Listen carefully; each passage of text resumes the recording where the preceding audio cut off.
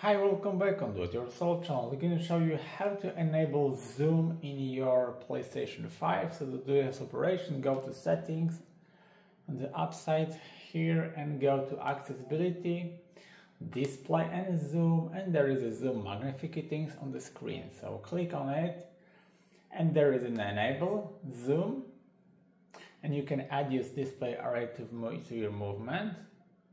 And as you see, uh, to start zoom adjustment, you have to click PlayStation and square.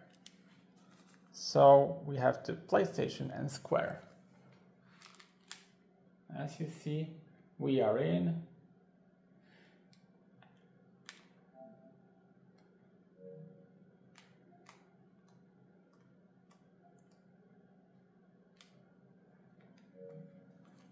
So PlayStation and square. Right you can add this area.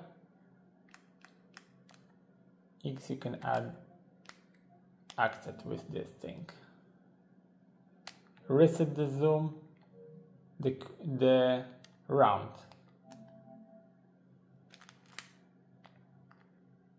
So as you see it's all about the zoom so I hope the video is helpful for you. If yes you can leave like leave comment and leave subscribe and see you by next video. Hey